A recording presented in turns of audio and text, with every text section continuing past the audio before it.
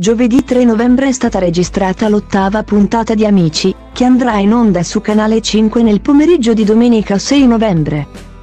Le anticipazioni che stanno circolando da qualche ora, fanno sapere che non ci sono state eliminazioni ma molti allievi sono entrati in crisi a causa di critiche o voti bassi ottenute durante le gare.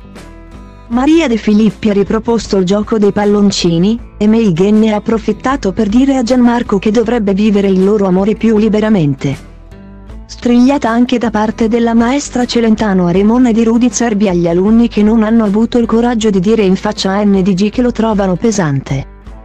L'ottava puntata di Amici 22 sarà trasmessa in tv domenica 6 novembre, ma è già stata registrata e in reti sono disponibili tutte le anticipazioni. I ragazzi della scuola sono riusciti nella difficile impresa di riconfermarsi tutti, quindi non ci sono state eliminazioni. Soltanto Piccolo G ha dovuto affrontare una sfida voluta da Risa durante la settimana, il maestro Beppe Vessicchio ha preferito il titolare e gli ha restituito la maglia. Per quanto riguarda le gare, quella di canto è stata giudicata da Cristiano Malgioglio, che ha dato i voti più alti a Federica e Tommy Dali, 10 tondo per loro, mentre ha apprezzato meno le esibizioni di Ascanio e Niveo. L'eccentrico cantautore si è reso protagonista anche di un momento divertente quando ha ballato a centro studio con la prof Alessandra Celentano. A proposito della maestra di danza classica, nel corso della registrazione del 3 novembre ne ha avute per tutti. Dopo che Remona ha eseguito il compito di pappa assegnatogli da Emanuello, la professoressa Celentano l'ha criticato dicendogli che in una scuola e non al grande fratello VIP, la docente non ha apprezzato la richiesta del giovane di avere al centro del palco il nuovo insegnante di ballo. E l'ha spronato a pensare più allo studio che alle dinamiche televisive.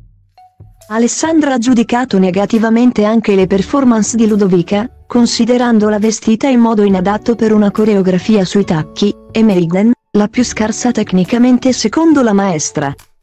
Durante le riprese della puntata di Amici andata in onda il 6 novembre, c'è stato spazio anche per momenti più leggeri e di confessione.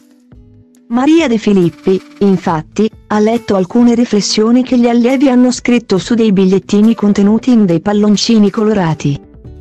Samu ha ammesso di essersi preso una bella cotta per Elena da Mario, mentre Piccolo G ha detto di essersi ricreduto su Samuel e di apprezzare molto la sua storia passata. A spiazzare il pubblico presente in studio, però, sono stati altri pareri espressi dai ragazzi della classe in forma anonima, solo chi voleva si poteva svelare come autore di una critica o di una confidenza. NDG è stato definito da un compagno pesante e troppo concentrato sull'apparenza, il cantante ci è rimasto male per questa frecciatina. Soprattutto perché chi l'ha scritta non ha avuto il coraggio di palesarsi. Rudy Cerbi ha criticato gli alunni più codardi dicendo che tutti dovrebbero prendersi la responsabilità delle proprie azioni. Anche Megan ha stupito i fan rivolgendo a Gianmarco un consiglio sulla loro relazione, la ballerina vorrebbe che il fidanzato si comportasse con lei come fa con tutti gli altri quando è in gruppo. Quindi che fosse più libero di starle accanto anche se vicino a loro ci sono altre persone.